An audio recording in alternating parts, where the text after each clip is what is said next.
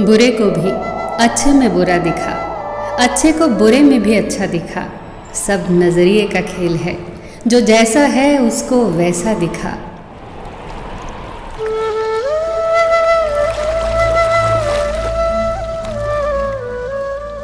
सृष्टि कितनी भी बदल जाए, हम सुखी नहीं हो सकते, पर दृष्टि जरा सी भी बदल जाए तो हम सुखी हो सकते हैं।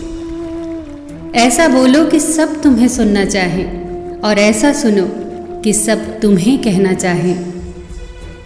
किसी को परखने की जिद छोड़कर, समझने की कोशिश करो। अदब सीखना है तो कलम से सीखो। जब भी चलती है, सर झुका के चलती है। इस तरह न कमाओ कि पाप हो जाए। इस तरह न खर्च करो कि कर्ज हो जाए। इस तरह न खाओ कि मर्ज हो जाए। इस तरह न बोलो कि कलेश हो जाए। इस तरह न चलो कि देर हो जाए और इस तरह न सोचो कि चिंता हो जाए।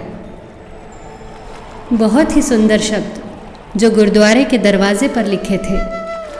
यार से ऐसी यारी रख, दुख में भागीदारी रख। चाहे लोग कहें कुछ भी, तू तो ज़िम्मेदारी रख। वक्त पड़े काम आने का, पहले अपनी बारी रख। मुसीबतें तो आएँगी, पूरी अब तैयारी रख। कामयाबी मिले न मिले, जंग हौसलों की जारी रख।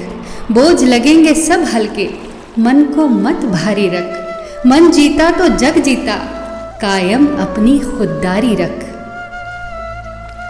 एक आस्तिक ने एक नास्तिक से कहा, तुझे रब पर बहुत भरोसा है ना? तो जा, एक पहाड़ से छलांग लगा।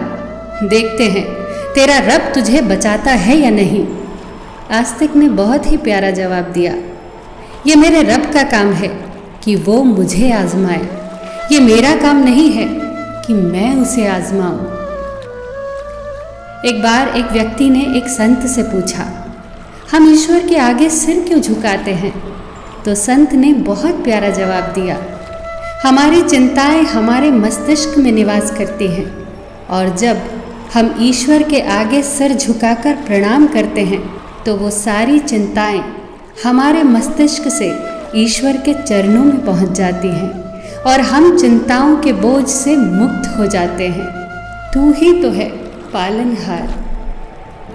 जानकारी किसी भी उम्र में हो सकती है, मगर अनुभव आज भी उम्र का ही इंतज़ार करता है।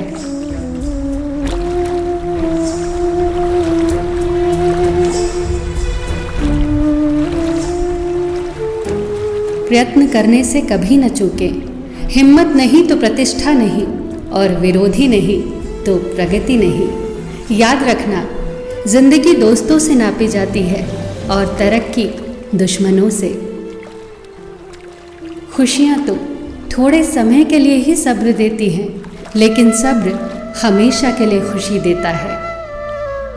दुनिया की सबसे तेज़ रफ्तार दुआओं की होती है। जो ज़ुबान तक पहुँचने से पहले ही ईश्वर तक पहुँच जाती है।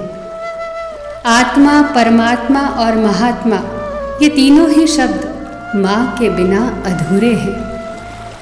हर औरत की इज़्ज़त करो, इसीलिए नहीं कि वो एक औरत है, बल्कि ये साबित करने के लिए कि आपकी परवरिश एक अच्छी माने की है।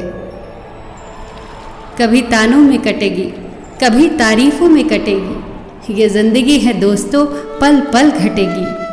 पाने को कुछ नहीं, ले जाने को कुछ नहीं। फिर भी क्यों चिंता करते हो? इससे सिर्फ़ जीवन की खूबसूरती घटेगी। ये ज़िंदगी है दोस्तों, पल पल घटेगी। जीवन तो बांसुरी की तरह है, जिसमें बाधाओं रूपी कितने ही छिद्र क्यों ना हो, लेकिन जिसे बजाना आ गया, समझो उसे जीना आ गया। फिर मिलेंगे दोस्तों। अगली वीडियो के साथ। तब तक के लिए अपना ख्याल रखना और हमेशा मुस्कुराते रहना।